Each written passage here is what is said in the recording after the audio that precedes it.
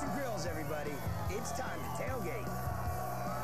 Hey, everybody, I'm Mike Fieri outside the Oakland Coliseum here in Northern California, where the Oakland Raiders are about to take on the San Francisco 49ers. Woo! Go Niners! Now, fans from all over the Bay Area are out in force for that great American game day ritual, tailgating.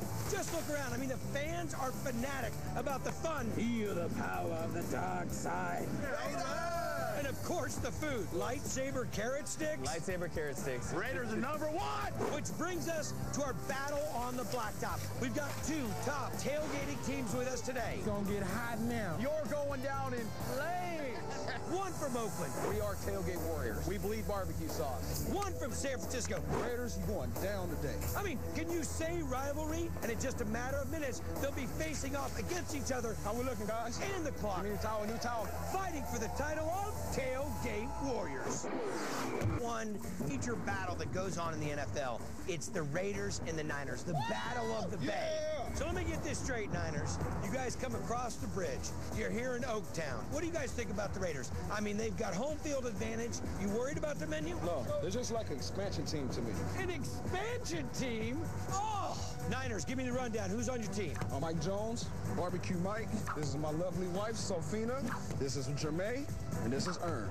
These competitors are veteran tailgaters who decided to come together and form their own dream team for this competition. But will they be able to click? Oh, oh, oh! Schoolmaster! And here's what they're bringing to the table. San Francisco's appetizers are NFC shrimp skewers and QB jalapeno poppers. The entree, tailor-made ribs with sides of gore corn and SF mushrooms, grilled mushrooms with andouille sausage stuffing. And for dessert, fourth down crepes. Those are crepes with whipped cream and berries. We decided to do our menu based around the San Francisco Bay Area. Bay shrimp, crab, jalapeno poppers. You can't get no better than that. The team from Oaktown. This is home field advantage. How confident are you? Totally confident. What do you think of these Niners? You guys gonna beat them? Oh, absolutely. We're going to beat them like a drum. gonna beat them like a drum. Introduce your team to me. This is Beth Pigeon. She's the bad girl. The bad girl, We've got Uncle Stan, Barbecue Bob Boy, and you are? Kingsford Kirk Brownsword. Bad boys!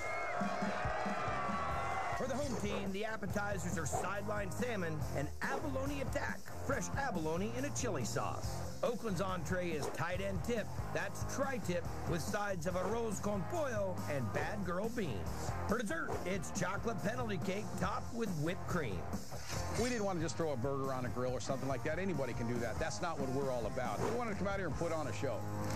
All right, teams, here's the lowdown of today's showdown. You have one hour to complete two appetizers, one entree, two side dishes, and one dessert. Now, you're going to be judged on taste, creativity, difficulty, and presentation. Niners, any questions? None needed. Raiders, any questions? No questions. We got 60 minutes on the clock. Tailgate Warriors starts now. This is the battle of the Bay.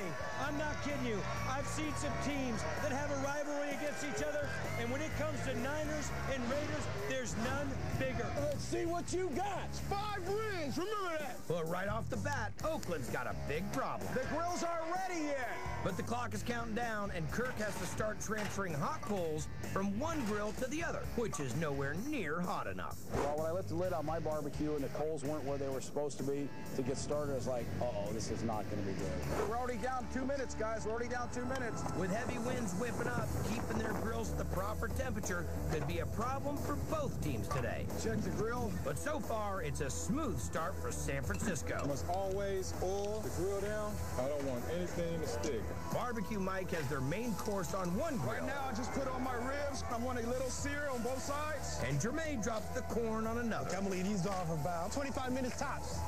Now, the Niners have really put themselves in a unique situation. They're doing ribs. We've got Dr. Barbecue, Ray Lampe, as one of our judges. I mean, this guy has seen barbecue across the country. Can they pull off ribs in an hour? They're going to impress Ray Lampe? Yeah, they got a lot to do in an hour. They better be tight. He and the other judges are not only scoring the final dishes, they're watching and checking in throughout the competition. Susie Fogelson from the Food Network, Next Food Network star. It's a very ambitious dish, don't you think?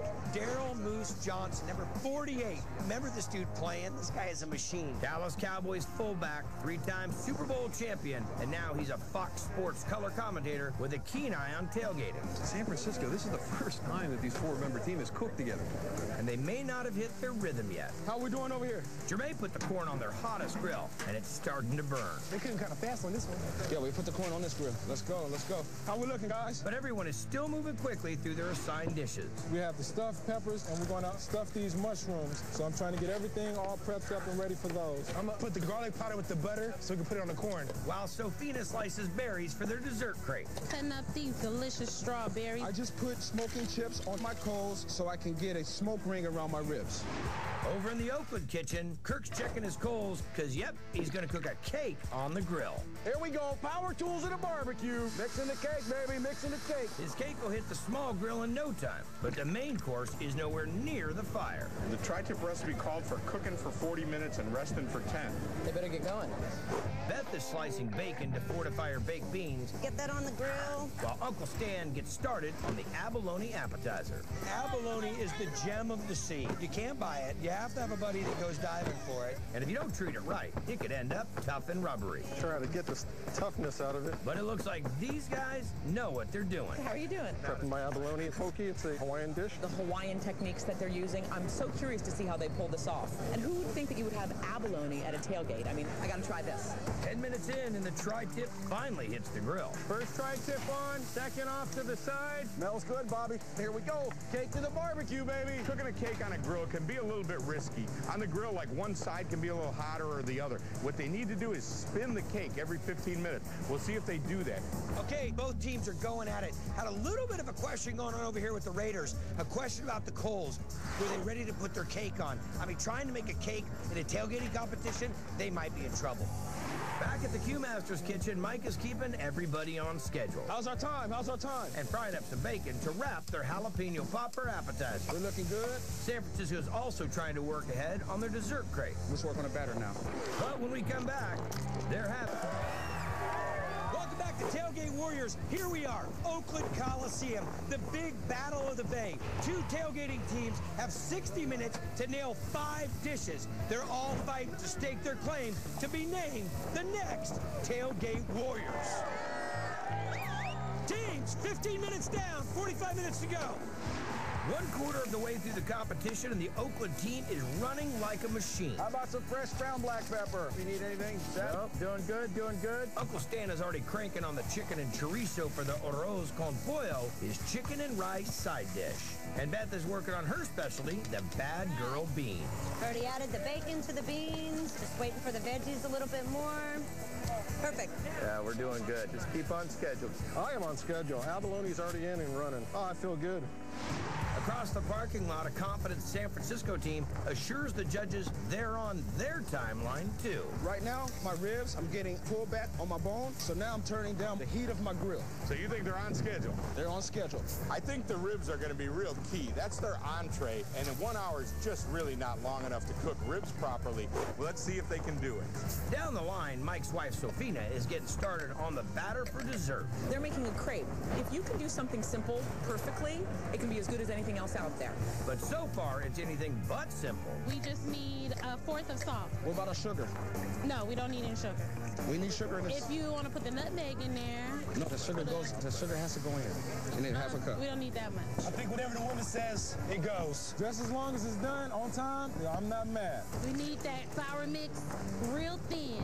So we're going to be whisking for a good 10 minutes. Check your batter. My batter's nice and thin now. You need thicker, too thinner. Oh too thin. no, they're supposed to be thin. We're having some issues because I think the batter is thin, and Michael thinks that the batter isn't thin enough.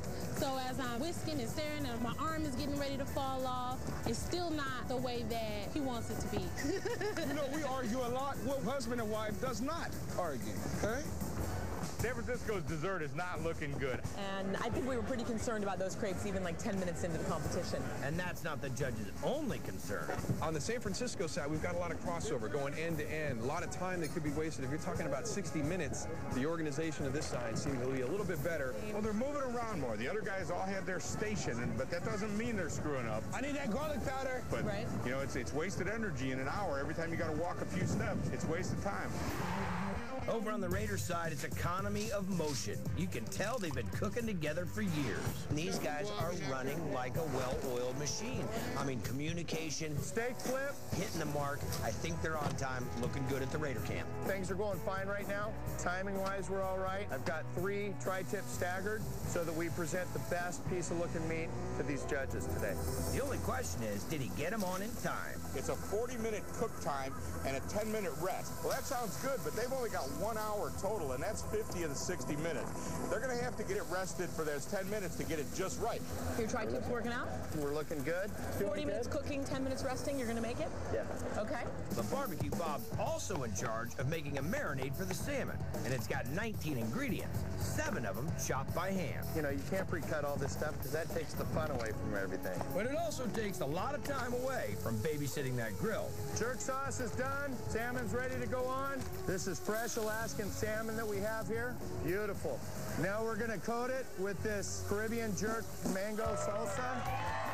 And down the line, Uncle Stan is barreling ahead with the arroz con pollo. Doing really well. The rice is going now. We got all the ingredients in. It's ready to go. Abalone is cooking about 18 minutes out. And Kirk's ready to check on his barbecue cake. Needs a little bit more time, not quite ready. Another five minutes, be perfect. These guys are stressing over here. You can tell. Oh, yeah? They say they're right on time. I done two mushrooms. We had three more left. We have three more left? Okay. Start cutting on this andouille sausage so we can get this all prepped and ready. We got more than enough time. And the judges like what they're seeing. I see the mushrooms and I see the jalapenos getting prepped. Two staples in the world of my tailgating.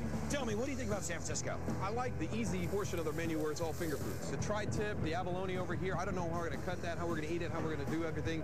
Over here, everything is kind of user-friendly. So I, I like the style, the simplicity of what they're doing.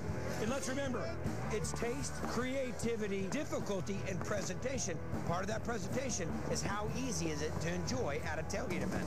Because this isn't just a contest, this is an American tradition. Folks in parking lots all over the country every weekend firing up finger food and pregame favorites. Only for Raiders fans, baby. Oh. And at the Oakland Coliseum, they go big. Three and a half tons of carousel of goodness. Seriously? Bro, seriously. So, brother, what's on the menu? We're doing a pulled pork with a Cuban espresso barbecue sauce. Listen, don't threaten me with a good time. Ah. Not talking just white bread and jarred barbecue sauce. These guys made their sauce. They brought their smoking rig. This isn't Triple D, is it? Yeah. Seen that before, haven't you? Dude, that's money. That's a crab stuffed tri-tip. Stuffed with Dungeness crab? You are out of bounds. Dude, that is fantastic. Isn't that awesome? But hang on. The question is, oh, whole hog? Absolutely. She's been going since 8.30 last night. You got here last night and you started this? And we slept in the parking lot to keep an eye on her. Now listen to me. It's not potato salad and hot dogs. This is Tailgate Warriors. It's go big or go home. When we come back, our tailgate teams are doing